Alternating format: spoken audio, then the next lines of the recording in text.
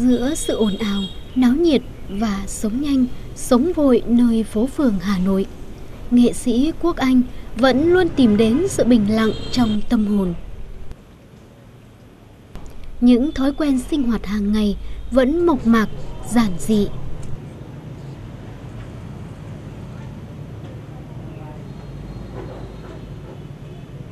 Phải nói là lần đầu tiên là năm ờ, uh, 78 Cách đây cũng mấy chục năm rồi.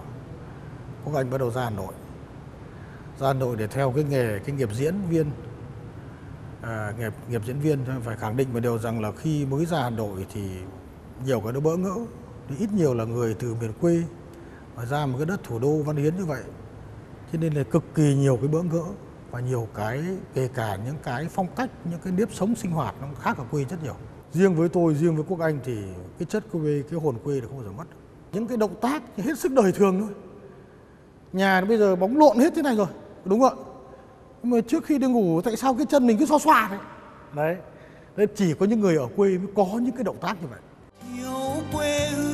Chất quê dường như ăn sâu trong con người quốc anh và chi phối anh trong từng vai diễn. Từ những vai diễn trèo đến sân khấu hài kịch ca nhạc khán giả đều thấy một hình ảnh quốc anh mộc mạc gần gũi và thân quen. Chả là chuyện mất con lợn hôm trước. Tôi cứ áy náy mãi. Hai bác vất vả quá. Ôi dào ơi. Có gì đâu. Bác khách khí thế. Hàng xóm láng giềng giúp nhau là chuyện thường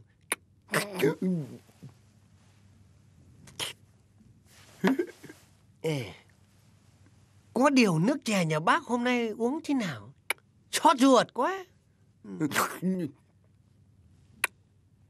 Nhà ta sập gụ tủ chè đẹp như thế này. Thật tiếc thiếu một thứ. Thứ gì? Tranh.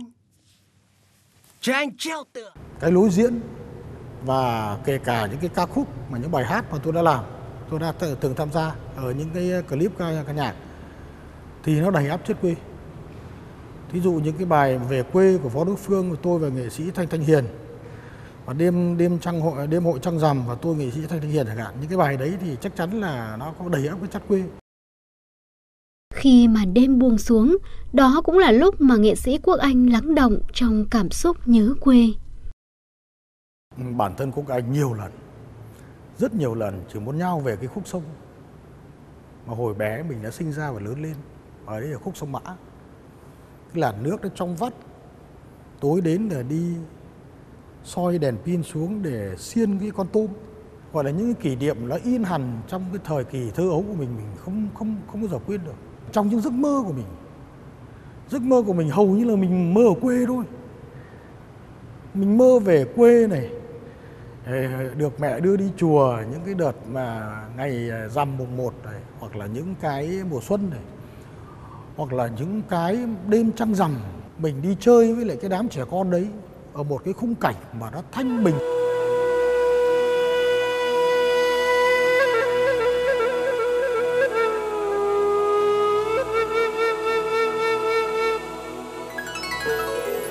Đường quê níu bước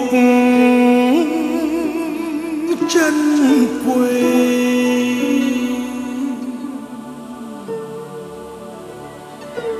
Sương mù kéo xuống chân đê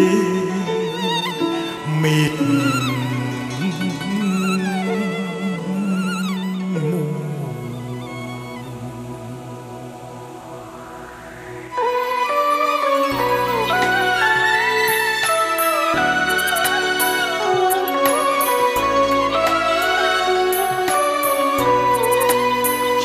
con đường làng cỏ hoa ướt sương mỗi bánh xe đi in hình trên đất. Ôi cánh đồng quê ta, mênh mang xa tầm mắt, và khúc sông quê